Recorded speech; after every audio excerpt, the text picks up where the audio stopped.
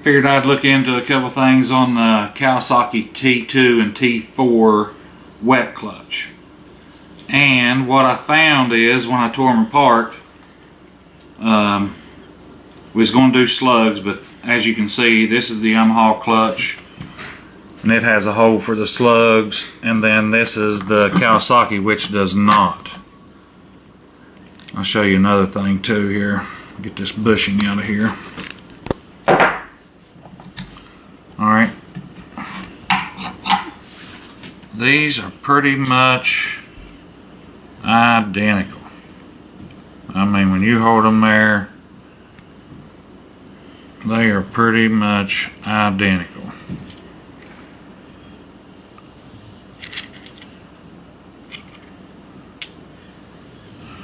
This is Kawasaki, this is Yamaha. Alright. Me, everything needs to work smooth. So, here's the Yamaha shoe without the spring on it. And this is how it works without the spring. Free. This is the Kawasaki clutch.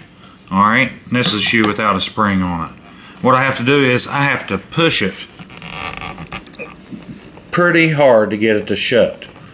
And then the same way with opening.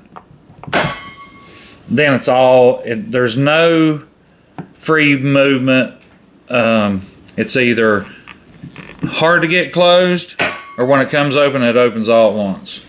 And then here's the Yamaha. Just as free as can be. So what I've seen is these bushings the Yamaha don't have. And I guess they was thinking that this would quieten it down some.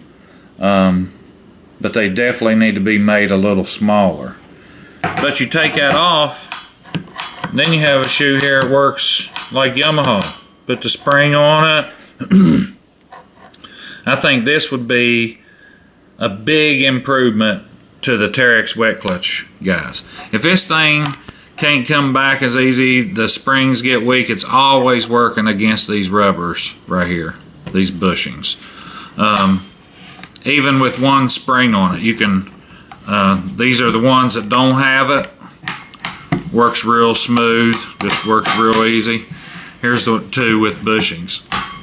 Still yet, just, I mean, that's pretty, pretty big difference on how it works. So I think this here has a lot weaker spring than the Yamaha. Um, the Yamaha shoes weigh 229.9 grams. The Cali shoes weigh 227.9 grams. Two grams different.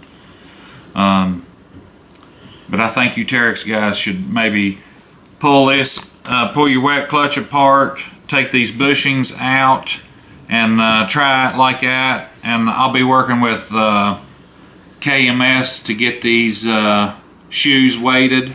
We'll be sending them to him, getting him to fix that up for us.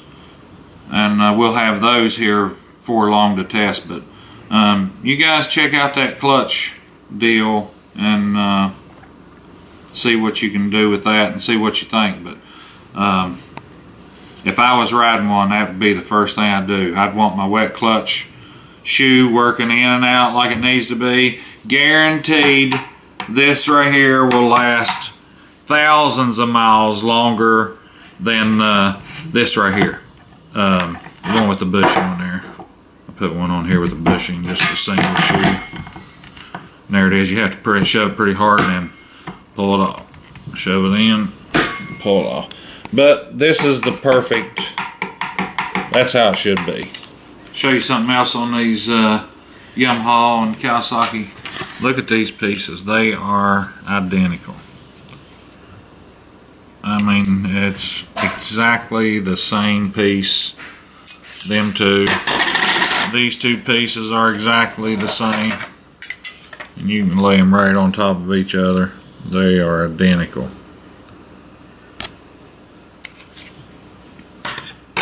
So is the back plate. All the holes. Um, this plate will fit on the other one. And uh, they're pretty much the same exact clutch except for them rubber bushings and the springs. springs are a lot weaker.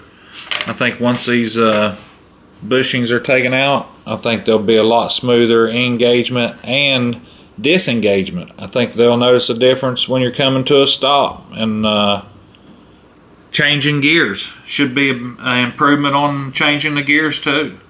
Didn't have much Teryx stuff on the forum and uh, check out hotrodforums.net and uh, we'll start working on a bunch of stuff for you guys. Thanks.